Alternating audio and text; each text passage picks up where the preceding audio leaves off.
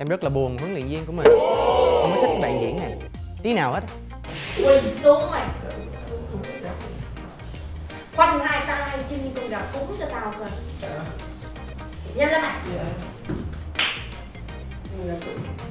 Rồi. Trời ơi con gà cúng mà. Á, cảm nhận Giang là nó hơi tiết tấu nó hơi chậm nghĩa là cái cái cái nét diễn của Giang thì nó nó nó nó nó, nó, khác với lại hoàn toàn cái nét diễn của Hy. Anh anh cho nó là một lần nữa khi các em ạ đang lên sân khấu tụi em phải biết rõ là cái nhân vật mình là ai. Còn nếu mà em không biết rõ ra cái bảo đảm là ra các bạn nói nó nó, nó, chân tụt hết à? Phạm Hy đừng tưởng nhanh mà ngon. Hãy đợi. Lúc đó mấy bạn cầu mà ăn mà, lúc lúc đó mấy bạn cầu á ăn cái gì mà để thì bóc như vậy? Chặt cái bóc lúc như còn ăn cái gì mà để bóc như vậy ờ chắc mày không à. Bóng xương, bóng canxi bóng xương quách. Con này nó hư hết sức luôn. Nó đi từ sáng tới trưa, tới chiều, tới tối, nó về tới nhà nó đặt cái đít ngồi xuống chưa được 5 phút nóng đít cái ghế nữa là nó đứng lên nó đi tiếp.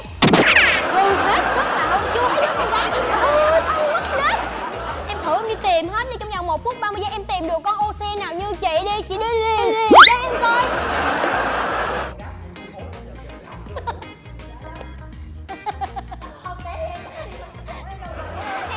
gì đây đây đây đây, chị ngồi dưới đây nè, em. Quay hoài gì ông nội? Tính vô đi.